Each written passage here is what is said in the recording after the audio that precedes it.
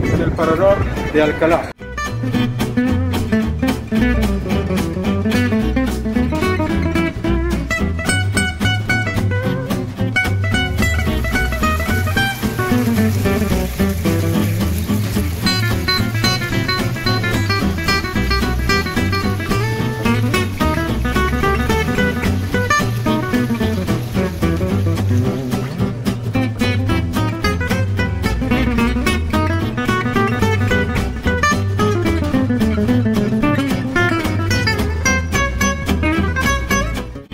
Tenemos a Gaspar Melchor de Jovellanos.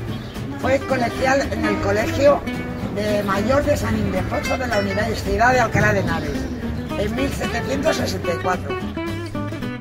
Francisco de Quevedo.